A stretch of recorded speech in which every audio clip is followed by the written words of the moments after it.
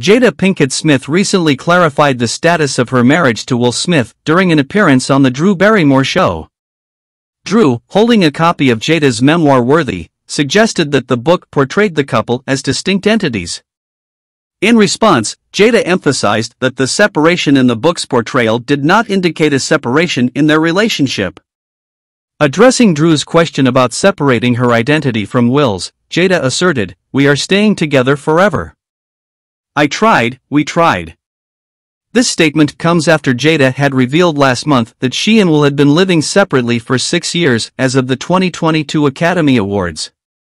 Jada and Will, who share two children, Jaden and Willow, as well as Will's son Trey from his previous marriage, have faced public scrutiny regarding the nature of their relationship. Jada took the opportunity to address misunderstandings during a Southbank Centre event in London.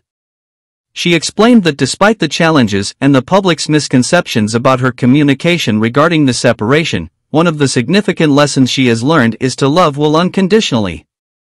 The actress highlighted Will Smith as a guru in her life and emphasized the importance of unconditional love in their enduring relationship. The clarification on their status comes amid ongoing public interest in the couple's marriage, with Jada's memoir providing insights into their individual journeys within the relationship.